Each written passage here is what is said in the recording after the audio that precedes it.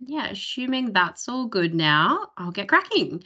Um, so yeah, as I said, welcome everyone to today's webinar, which is um, all about the big question, is integrating commercial trees the right fit for your farm? Um, just before we get started, I would like to um, acknowledge country. So I'd like to acknowledge the Boon Wurrung people of the Kulin Nation.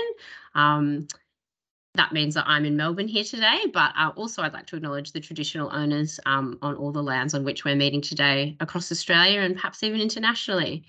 Um, and yeah, if I could just ask folks to uh, keep their mics off during the um, during the sort of main part of this presentation um, and just put any questions that you might have as they arise into the chat and we will come back to them later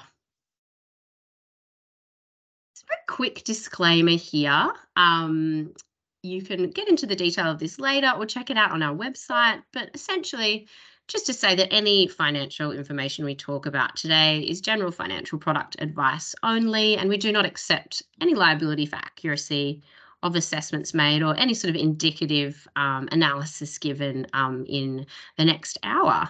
Um, and yeah, as I said, you can read more in um, the financial services guide on our website. So for today's agenda, um, we are lucky enough to be joined by the wonderful Wendy Perdon from Southwest Timber Hub. Um, I first came across Wendy when I attended the Carbon Farmers of Australia conference uh, last year, and I thought that Wendy's presentation was a real standout. Um, and she's been engaged with um, the Carbon Farming Foundation um, behind the scenes uh, ever since, and possibly even before that, um, around developing a tool together, which um, she'll be taking you through today. So we're absolutely thrilled to hold this practical and hopefully valuable session for you. Um, I'm just going to give a quick introduction um, to CFF and our kind of role in plantation forestry, which is probably just a useful precursor to the focus of today, um, whereby Wendy will take us through all things plantation forestry, opportunity scoping, and um, how decision tree can then help um, you to set up a successful plantation in Southwest WA. And then, as I mentioned, we'll come to your questions, which have been submitted in advance or via the chat box and uh, have a bit of a Q&A session. So just a quick recap on CFF and our model. Um, so we work on um, three different methodologies under the Emissions Reduction Fund scheme run federally. Um, I think someone's mic might be on if they wouldn't mind just switching it off. Um, and those methodologies are um, plantation, native reforestation, and soil carbon. Um, we operate under a few principles. They're pretty straightforward. Um, if you work with the Carbon Farming Foundation, you keep 100% of the of the credits that you earn on your project. We are a fee for service model, so we don't take any credits. We try to be as transparent as possible about our fee structure, about the project process, about risks and opportunities throughout. Um, our uh, service provision is very flexible. You can choose only those that you need in order to support your project goals. Um, and yeah, we have no lock in contracts, so you can cancel our services at any time. And we're also very lucky to have the ongoing commitment of a uh, of philanthropic donors who put an average of $98 per hectare towards establishing carbon projects um, with our customers. Here's an overview of some of our, our valued customers um, relevant to today. We've got a couple of customers in the plantation forestry space, plantation pine products and heartwood plantations, a couple that we can show here today. Some of our customers fly a little more below the radar, um, but I'll come back to the heartwood um, example in just a sec. Um, and just to quickly say that, you know, we are one of um, you know, several different service providers out there and the plantation forestry space is really broad and that's why it's so great to have wendy with us today because she um, her and southwest timber Harbour offering a really helpful opportunity um, to a lot of um, potential project proponents. Um, but just at high level um, the cff might be helpful to you if you have a larger project or quite a high yielding project and you're quite interested in sort of running that independently. Uh, perhaps you don't yet uh, perhaps there isn't really yet a great offer from the aggregator type model from like a larger plantation company in your region, or perhaps your species that you plan to grow doesn't really sort of work within that model. Um, and otherwise, just if you want to sort of more flexibly manage your uh, plantation carbon project, in any case, um, the decision tree tool can help you to make that choice and run some uh, alternative scenarios to shed light on the numbers. Um, and as I know some of you are interested sort of more broadly in carbon, um, Carbon Scout, which is the sort of CFF run version of um, the tool, will shortly apply across other methodologies as well, including native reforestation and soil carbon. So um, stay tuned. Um, for that to be launched. Just a really quick example to maybe give a bit more uh, practical insight as to what I was sort of talking about there in terms of if you are a customer where our, mo our model might suit. Um, one of our value customers, Heartwood Plantations, um, they are located in Gippsland, Victoria, and they work on usually quite biodiverse mixed species plantation projects. Um, so, sort of mixes of Australian eucalypt species quite often. They were just looking to unlock an additional revenue stream to make um, that particular niche in plantation forestry a bit more financially viable that yeah it wouldn't sort of necessarily sit within um, one of those sort of more broader aggregator offerings in terms of species and um, and scope um, and there's just like a bit of an, uh, a summary of what we offer in terms of setting up a project in that context. But that's quite enough from me. I'm going to hand over to Wendy, who can take you through all things uh, decision tree. Thank you, Wendy. No problems, thanks. If I just flick through the first the map of Australia. Click past it. Yeah, one more. Yep, that's the one. Um, so thanks everyone for coming on. Um, uh, oh, back one. Went too far. Um, what I wanted to do just at the top is explain what a timber hub is. Um, so the timber hubs around Australia, there's 11 timber hubs in the timber growing areas around Australia. We're federally funded standalone entities. Um, and our role really is those couple of things there, really around looking at how we can uh, do plantation expansion. It's really about getting the right trees in the right place at the right scale and the right species. We haven't done that always so well in the past, and that's a really big part of the role of the hub to work out what is the best options for their, their particular regions. Also looking at native forestry, the hubs are involved in making sure anything that we're taking out of our native forests we use as smart as we can um, and making sure that you know there's very little waste and, and really getting high value products out of our native forestry. And it's also around a lot of community education, people actually understanding what forestry is about. And you know, I see just talk a lot about the difference between deforestation and forestry, um, but it's really talking about how sustainable forestry actually can really help around climate change and environmental issues. Um, and again, the big difference between deforestation and forestry. But obviously, what we're going to be talking about today is mainly around that plantation expansion. So if we go to the next one.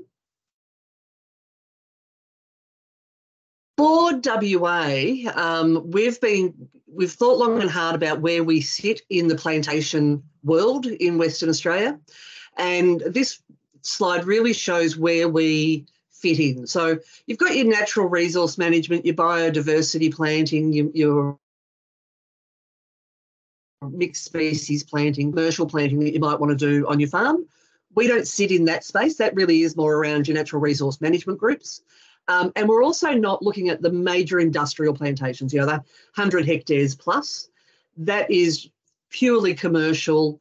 Um, you know, if you're looking at 100 hectares and plus, you'll be dealing directly with uh, suppliers and, and offtake agreements with, with mills and those sorts of things in your own right. We can help you link you to those people but we're really talking about the, the space in between. And it's really looking at how we can integrate tree planting on farms to help farm or get farm benefit today around windbreaks and shelter breaks, um, but then also have a long term crop that farmers can access the funds from. So, really looking at the two sides of it. And it really I, I very rarely will use the term plantation in the work that we do because it really is around integrating those trees. Overseas, most of Europe, this is just traditional that people have woodlots on their farms. And particularly in Western Australia, and I know a lot around the rest of the country, until 30 years ago, 40 years ago, we were paying people to chop their trees down to, to make them into pasture. And now we're saying we want you to put them back. So it's a little bit of a tricky thing, but it really is around, it's not an or either or, it's not um, fence line to fence line planting, it's around integrating it into the farm. And so that's where I'm going to be talking about today. The tool, though, that um, that we've developed with CFF can work on both ends of the scale as well, but the, the decision tree program fits in that middle space. So how we got to here, the next slide. Um, back in 2020, I started to look at the whole issue of getting trees onto private properties. And honestly, I would have read 50 different reports on why people should be doing it, how it's good for the farms, how it's good for the industry, but no one seemed to be doing anything about it. No one was planting. Um, and so what we did was we've always looked at it from a forestry perspective, from a product perspective, not a landowner's perspective. So we um, appointed Don Burnside to do a big study working with local landowners to look at why they weren't planting, what were the obstacles. And through this program, and as we get through, all of the obstacles that people put up around information not being accurate, not knowing who to trust, uh, the cost of seedlings, the lack of accurate information around how to look after your trees, all of those things through this program we've really ticked off. So we'll talk about that a little bit more. So after we did that and we got an understanding about what we needed to do, one really big concern that people had was the accuracy of information. Um, and you know, we were getting stories from landowners who, depending on who they spoke to, the site preparation to do planting was from $500 a hectare to $5,000 a hectare, you know, and so they just didn't know where to go. So during 2021, what we did with the forestry industry is did a lot of benchmarking and a lot of background work to make sure that the information that we were putting into these tools was as accurate as we could make them. Um, and you know, depending on where you're looking at planting, that uh, the costs and the and the growth rates and things change. So we had to account for all of that. So there was a, a lot of background work being done. Then in 2022, we created the the first go of the decision tree, um, and that was an Excel spreadsheet based tool um, that was great. But as soon as we produced it, we went, oh, there's so much more that we really could be doing.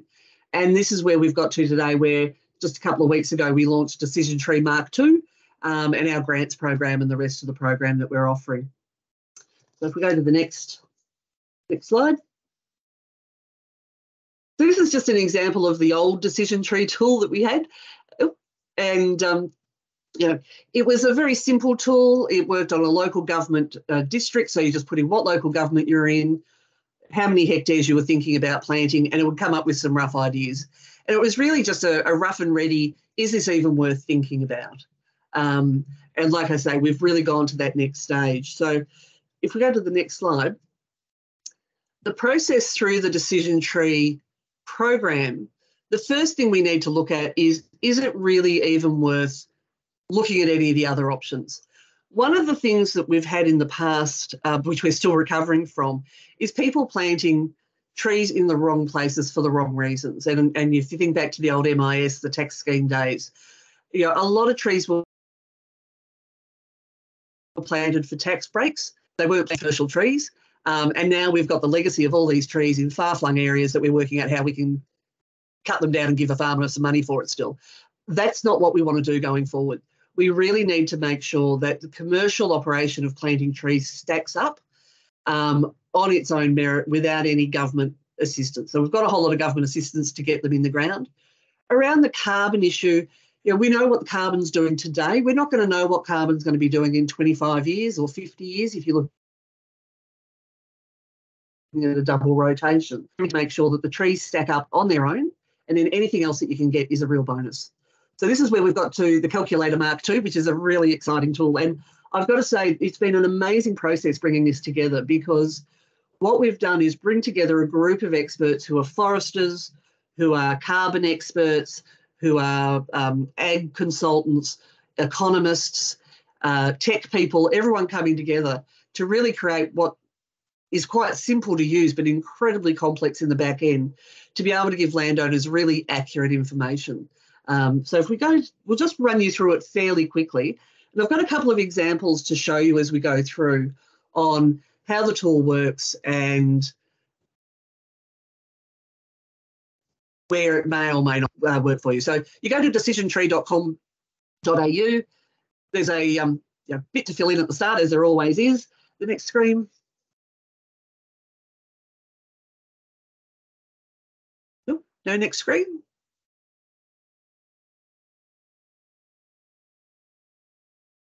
So you log in, create a user. Next one.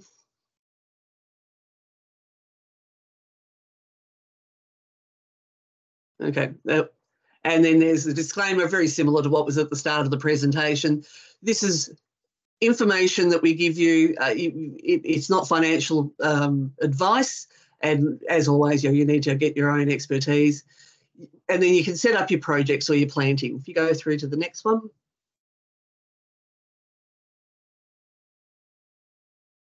Now, the key difference between this decision tree and the original Excel tree, uh, decision tree, is that we can actually map your farm and the areas on your farm that you want to plant um, and get quite granular around the way you want to do that. So if you've got some spots on your farm where you've got erosion issues or you've got non-productive pasture hill for your crops, we can zoom into that close to be able to really work out what's the best mix of planting for your property. All the way along this tool, we've also got these great little help buttons that pop out.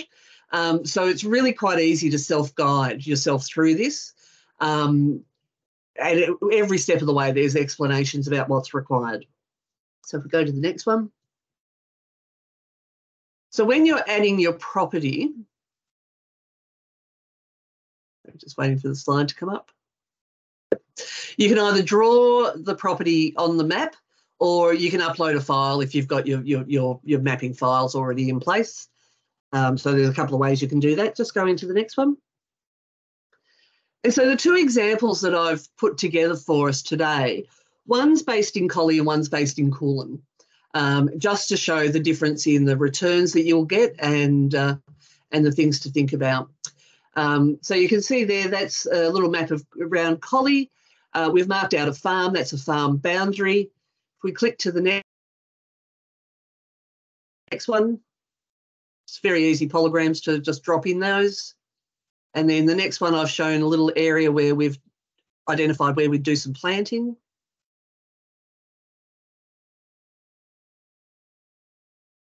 Yep, so the little green lines there. Now with this, you can actually do, that one. Sorry, you can do a bit, of a, bit of a time lag between us, so just misjudging that slightly. But okay. back to you. Back to you. No, that's okay. Thanks for that. Um, so with the with the mapping, you can actually draw multiple planting areas on your property uh, and put multiple species in. So for WA, the two species that we're looking at at the moment are pine and blue gums. Um, and you might want to do a bit of a mix of the two. And so you can do multiple plantings. But for the ease of these examples, I've just put one lot of planting in. And in both examples, they're around 16 hectares, just so they're really quite small plantings to show how this can work for a smaller operator. Okay, so if we go to the next one. So with that, you've drawn that, then you just click your calculator tool on the left-hand side and it gives you all the information that you're after. So the first um, panel there is the default pricing. Now, I strongly suggest that you don't muck around with that. You can set up different scenarios. Uh, so you can look at a worst case scenario, a best case scenario, um, you know, put in variance. But I'd always keep the default pricing as it is, just because um, that's the one that has all of that benchmark data sitting behind it. And I'll show you how you can access that in a minute. Um, so that's our best guess at how things are going to look. Um, and so for this 16 hectares in Collie, um, you're looking at $128 per hectare per year. Um, so, you know, net present value of $50,000. that's worth looking at for a 16 hectare property. That includes the carbon income, it includes the timber income, and includes all the costs for planting and uh, and all the timber costs. So, you know, that that the colliery, you'd say, okay, this is something that is worth looking at how I can integrate it. I've also popped there a best case scenario and a worst case scenario. Um, again, depending on your risk portfolio and your property, you really do want to look at the different options. So for the, the good case scenario, I've just made a really small increase on the price of sale, uh, the, the price of the wood that you'd sell, bumped up the carbon price to $49. Um, and I've made that that there's no carbon servicing. I'll explain why I've done that in a moment. Contingency. So again, you can just have a bit of a play around you know what will work for your property. The beauty of this though is one of the big costs in establishing uh, trees on your property is things like your access to your property. You know, you've got to be able to get trucks in. If you've already got that infrastructure, we can drop that all that costs down to zero. If you haven't got any of that infrastructure, we can bump it up a little bit more. So when we get to when we actually are sitting down with you to look at your farms on the ground, what you require, we can tweak this to be as accurate as we can make it for your property. Uh, so that just gives you a good example of, of the collie one. Next line. This shows you just broadly what sits behind these calculations. I'll Just wait for it to come up. So, okay, so on the left-hand panel, and you can see all of this when you when you're doing it. So on the left-hand panel, these are all of the areas, all the costs and incomes that we we calculate. So we've got the timber assumptions, the establish and maintenance costs, the harvest and transport costs, the, the carbon service fees, the prices, the thinning and harvest regimes, and your financial analysis. And so I've just opened one of those up, which is the timber assumptions, just to give you a bit of an idea of the detail behind it. And you can see there, there's the first thinning contracts, first thinning roading, second thinning contract, second thinning roading, harvest costs, uh, roading, distance to mill, haulage cost, all of those types of things are in there and they can all be adjusted. And for each one of those subsections, there's a whole raft of variables that we can play around with. And depending on the method go into, uh, things like the thinning costs could become zero. Um, if you if you're going into an offtake agreement with um, Wespine or WAPRES, which I'll explain in a moment, uh, or you know they can be what these are, which are our defaults, which is what we um, are currently you know benchmarked at, or you think well you know they're going to go up a little bit, so we might just bump it all up a little bit more, depending on you know where you are again and what what infrastructure you've got on your property. So the second one that we've got there is the Kulin example. And again, exactly the same size farm, exactly the same size planting. Um, but the really big difference there is you're in a lot lower rainfall area and a lot further to mill. So what that means with the lower rainfall is the growth rates of the trees won't be as great, and also your harvest and haulage costs are greatly uh, increased because of the distance to mill. So, as a rule of thumb, for a small planting to be viable, you're really wanting to be looking at around 200 kilometres to your mill. Um, anything village costs really do start to to creep into any profits that you'll have. So, if you click into the next one again, this shows the same default best case and worst case scenarios. And for this one, for the default price, you're actually in a negative price. So if you were looking at this for a 16 hectare, you know, planting in Kulin, you'd probably say from a commercial perspective, this won't stack up. If you're still really keen to get trees in the ground and you want to do your shelter belts for your livestock and, and those sorts of things, you might want to look at different methodologies. But for a pure plantation methodology, absolute commercial reality, we would say you, we wouldn't go there. and the danger, if you're planting commercial trees out in somewhere like Kulin, is in 25 years you'll find it very difficult to sell them and very difficult to get someone to haul them off to, to market. Um, so that's where you may look at more permanent planting if you're looking at getting some carbon income and doing some on-farm benefits. So really is about horses for courses. Uh, but I just wanted to show you this because from my perspective, it's as important to say commercial trees won't work for you as it is to say commercial trees will work for you. We don't want to be setting farmers up for failure. We don't want to be, you know, in 20 years' time, 25 years' time, having again stranded assets all around the state that we need to work out what we're going to do with. So this shows again, it's not a um, white shoe brigade trying to flog you trees at any price. Uh, this is a really honest, accurate uh, assessment of how trees will operate on your property. Okay, so if we go to the next slide. So that's a really, really brief summary of what this amazing tool does. As you could imagine, the from the uh, the screenshots that I showed you of the the, the flexibility, um, you really can nuance this greatly to your farm. but say if you're that collie project and you've looked at it and gone, eh, it's worth having a look at.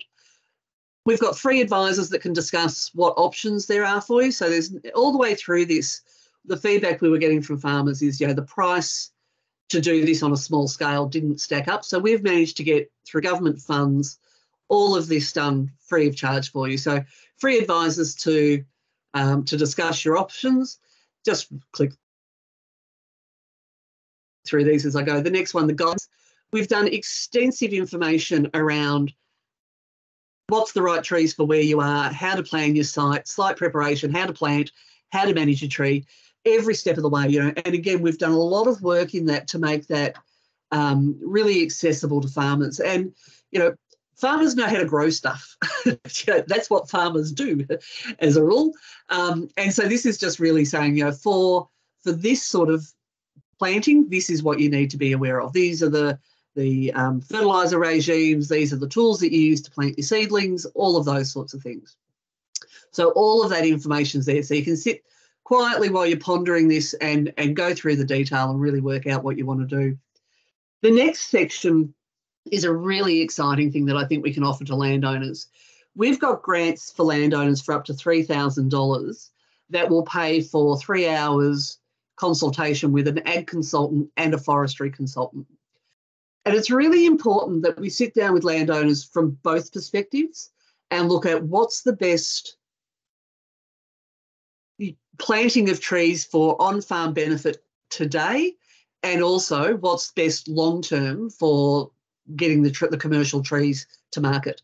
So we may sit down and say, look, you know, the best place for our shelter belt would be, you know, on this edge of the paddock, but that edge of the paddock is a long way from where your roading is on your farm. So the cost of developing your roading to get to that new plantation area wouldn't stack up. So we would, you know, together with the landowner and the consultants, work out the best options for the farm mapping. And again, it's the beauty of this system is that you can muck around with it all you like, give it as you know many tweaks as you want to, uh, until you get it right for your farm, and then it's you can work out your financial modelling around on-farm benefit and that long term.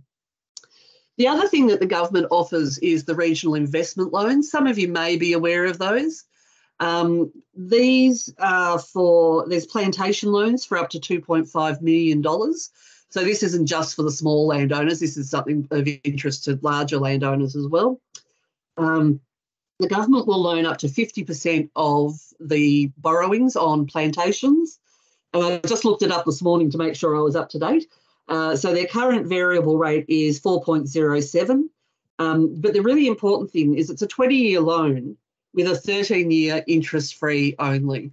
And so, what that does is you'll actually be earning income from your thinnings to be able to then start to pay back the government loan. So, it's something to think about. It's another um, sweetener in the in the pot from the government, uh, and that's federal government loans. The next one is the free seedlings. So we've made an arrangement with Wespine and WAPRES, two large um, farm uh, uh, uh forestry organisations who will supply seedlings for free. So whether that's blue gum seedlings or pine seedlings, if you're looking at less than 100 hectares, so if you're looking sort of 20 to 100 hectares, uh, your seedlings will be free of charge. The only cost to the landowner is to actually get them in the ground, uh, whether that's you do that yourself or get a contractor in to do that, but the seedlings themselves are free. Um, again, for under that 100 hectares. If you're looking at more than I'm going to a commercial agreement with either of those organisations around accessing their seedling stocks. Um, in WA, we've got some of the best seedlings um, uh, in Australia. They're really, you know, they've been genetically modified to be perfect for our environment over here, uh, and all of those would be free. Now, the next part is where I was talking about um, the offtake agreement. And this is absolutely uh, a game changer for small plantings. So both Wespine and WAPRES have agreed to basically buy the trees as soon as they're planted at a commercial, uh, at a guaranteed rate of today's price plus CPI increases. The agreements also then say if in 25 years' time the sale of that timber is worth more than what the CPI increase has been over the last 25 years, they'll pay you at the higher rate. Um, they will also do the uh, thinnings free of charge. There's normally a, a, cost to doing that. They'll do that free of charge if they make money on the sale of that wood. If they do more than break even, that income will go to the farmer. Um, and one of the other key things is, oh, sorry, can just keep kicking through those. Um, so, so there's absolutely no loss to to the farmers. And the reason that they're doing this is Australia is heading for a cliff on timber supply. We are going to be desperate for timber supply. When you look at the just the housing market in itself, um, to to meet the likely demands for house building over the next 25 years, yeah, we just do not have the timbers in place. So these organisations are prepared to do all of this underwriting to make sure that they've got a a um, a product in the future. The other thing that they're prepared to do for the smaller land holdings, again, uh, under 100 hectares or under 100 hectares of planting, is to do the free carbon aggregation. The difficulty with small lots is really not worth doing your carbon. Once you actually pay an aggregator and you do all of your audits, all most of that carbon fees chomped up. Uh, that you'd get all the carbon income that you would get is chomped up. And so, what they've agreed with the regulators is that all of these projects will sit under their umbrella. The landowner will set up a, a bank account, in effect, for the ACCUs. And as soon as the ACCUs are delivered to, say, Wespine, they will get automatically transferred into the landowner's um, account. So the landowner owns the carbon completely. There is no skimming of the carbon at all and that then those ACCUs are for the farmer to decide what they want to do. So you can either keep them to offset your own carbon, um, or you can sell them. You can do whatever you like to do with them. So they're a really key part of of what makes it worthwhile going forward. And so from those, all of that, you can see that you know from a government's perspective, we're really trying to do as much as we can to encourage small plantations the other thing, if we've got people on board who are particularly interested around the carbon, the thing to remember with commercial planting is it's actually it takes up more carbon than environmental planting. When you plant, uh, you know, an environmental planting and a commercial tree, they take in carbon at the same time while they're growing. Once they gr- have grown, and both of them are around that 25 year period, they stop up taking carbon the beauty of a commercial tree is once you chop that tree down, all that carbon's still stored in that timber that you're using for your, you know, your roof trusses, or if you can see my my office behind me, my wood panelled office. Um, and then if you replant, you're actually planting. So you've got your carbon level to here, and then you're replanting above that. So it's actually, you know, from a, a, a carbon perspective and a, an environment, um, change perspective, it, actually is, is the better option than just leaving a tree to grow until it dies and then breaks down. So it really is something that's worth thinking about. So that's the Carbon Tree Project in a nutshell. Um, like I say, the tool is really exciting. It's free to anyone to use, so everyone's welcome to just jump onto decisiontree.com.au and have a play. Um, if you're based in WA and you that first default position looks interesting, um, all you need to do, actually, I'll get in contact with you after. Um, I'll send you the grant application. It's not an onerous process. It's really just give us your name, where your property is, and how many hectares roughly you're thinking about. Um, so you can get the the carbon the um, ag and forestry advisors out, and then from there, you know, we can order your seedlings. And if you're quick, you could be planting this year. Um, if you're you know if you're looking for next year, as long as we have those orders in by about October, uh, you'll be ready to plant next planting season next winter, um, ready to go. So like I say, it's a great opportunity for anyone who's looking at this sort of um, smaller plantation. And um, you know, in any way that we can help out, we're more than happy to. If you're not in WA um, and it's something that you're keen to learn more about with what's happening in your area, the decision tree is being rolled out into a few of the different timber hubs as we speak. They're in development. But I'd really suggest that you contact your local timber hubs uh, and talk about what they can do to help, or they can put you in contact with you know the, the right consultants and things like that if they're not at that point themselves. Um, so that's my presentation, and I guess let's we throw it open to questions. Awesome. Thank you so much for that, Wendy. Um, as always, really useful, practical information and a great new tool on offer, um, particularly relevant at the moment in Southwest WA, but with broader application now and in the future, um, as long as landholders are using the right assumptions to inform um, their financial scenarios. Um, so I have a few pre-submitted questions, which um, we can have a look at. Um, if there's anyone on the call who has had a question um, sort of float to top of mind, please do pop it in the chat. Um, otherwise, um, yeah, we could probably take our mics off in a little bit if people would rather um, just have a bit of a chat with Wendy. Um, but I'll just look at these questions pre-submitted. so there were some initial questions from people around the opportunities uh, at you know relatively smaller scale so looking at around 10 hectares or the like which i think you have um, already sort of shed some light into what is relevant in terms of whether or not that scale might stack up or not and how to use decision tree to understand that?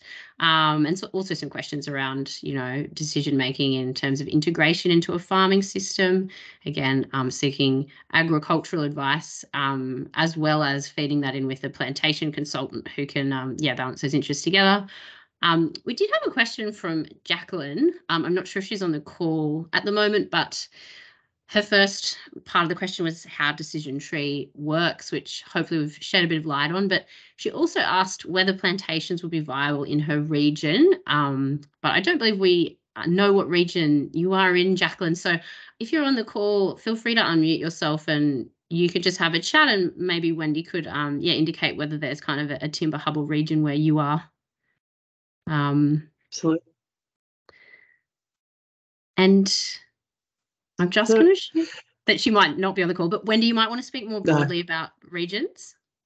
Yeah, for sure.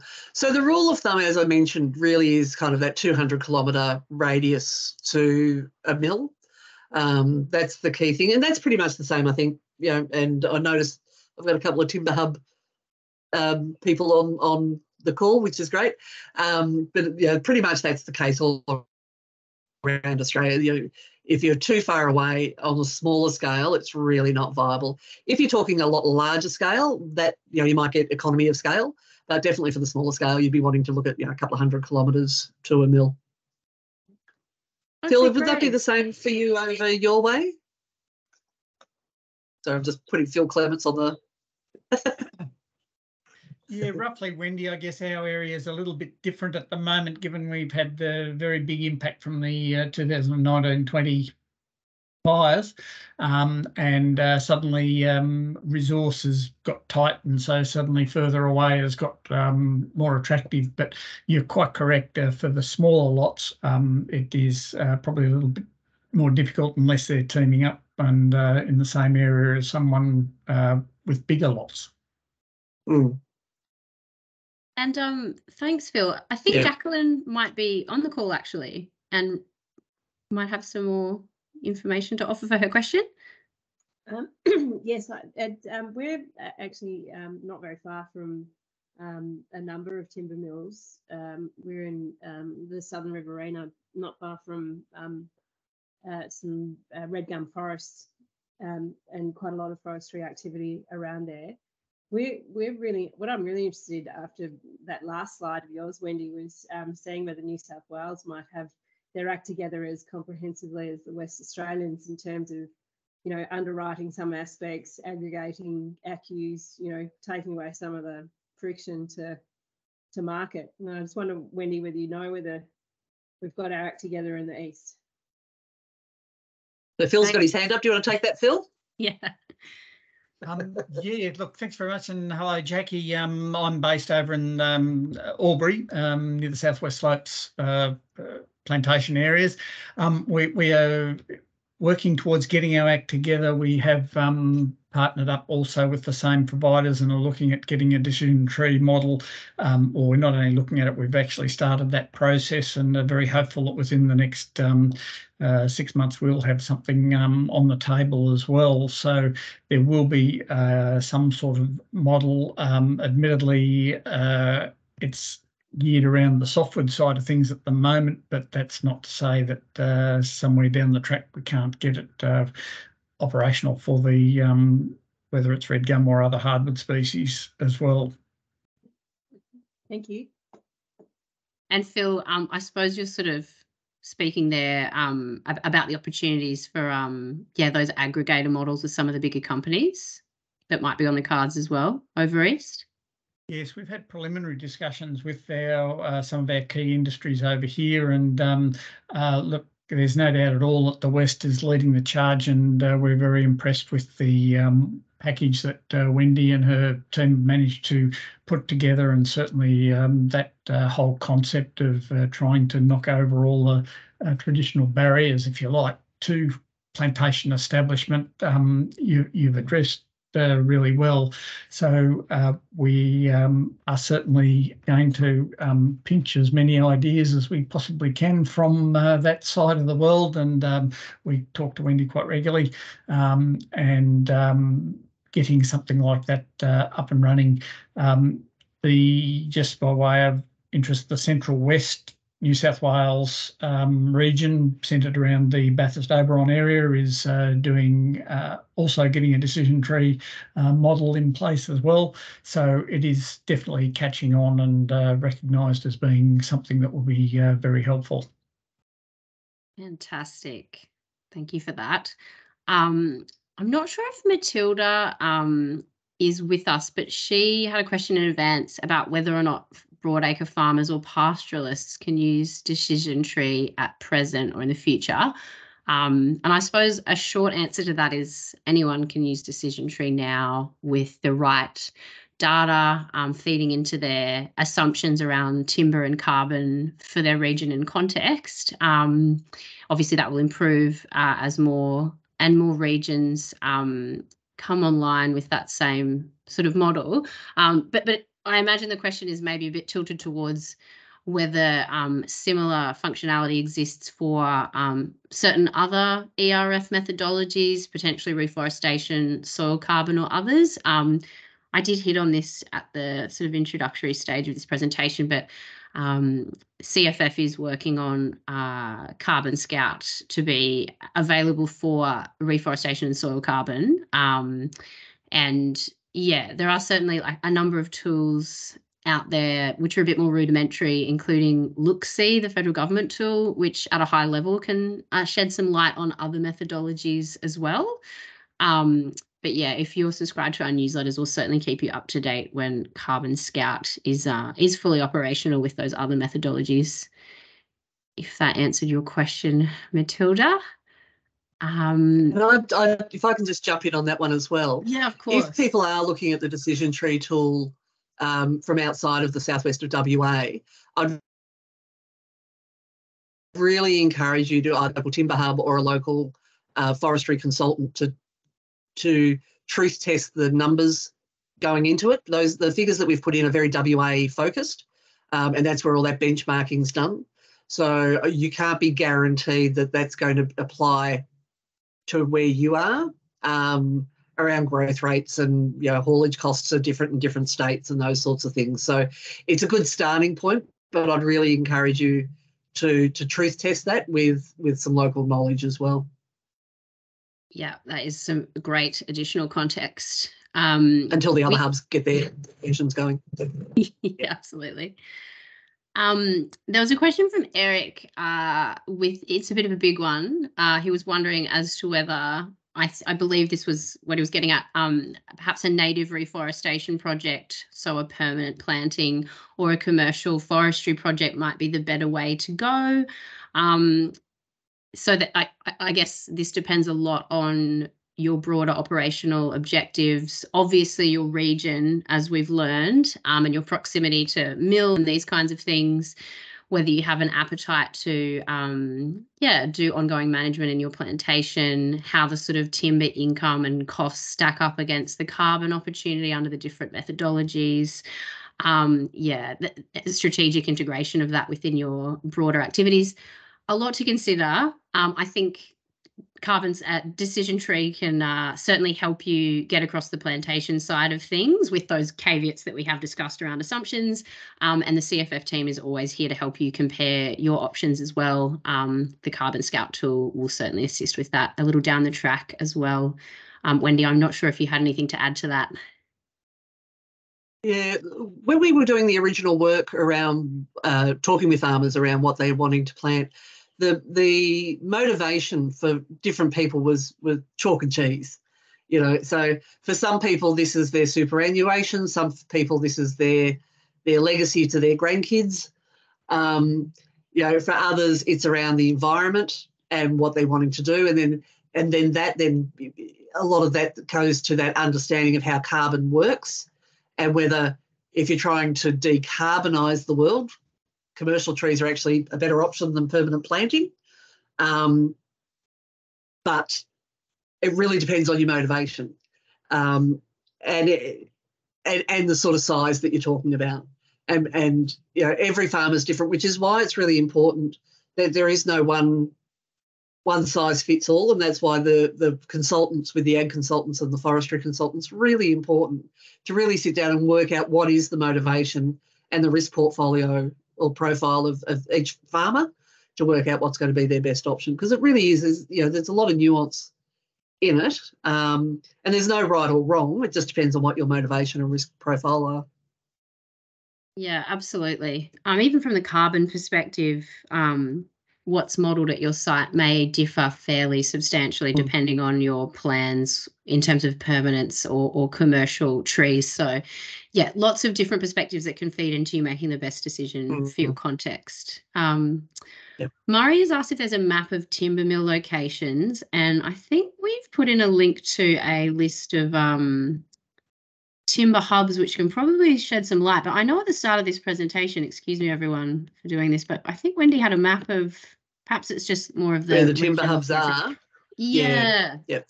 Yeah, And if you Um, go to Ag, Water and Environment, um, all the contact details for all the timber hubs are there as well. Um, and it's one of the things that we have been talking about as a, a group of timber hubs is actually creating a site where we've a website where we've got all of the timber infrastructure in one place around Australia, but we don't have that currently. But yeah, look, uh, Murray, I'd suggest you just contact your local timber hub, um, or if you're not in a, hub area, your state forestry body, um, and they'll be able to let you know what timber mills are in your lo- around your location. awesome. Thanks for that, Wendy. Um, I think we might have come to the end of the questions that I have. Um, if anyone has any questions and they feel more comfortable talking, like we do have an additional 10 minutes, so feel free to jump off mute um, and ask your question. Um, otherwise, Wendy and I could definitely think of one or two between us, I'm sure.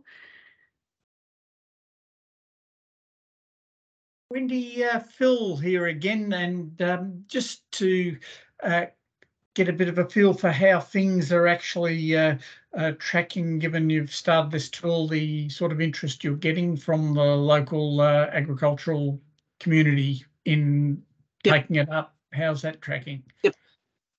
Yeah, look, really well. Um, we launched it, I think, two weeks ago, and uh, we've had over 50 landowners and 60 or 70 other entities looking at the the um, the tool.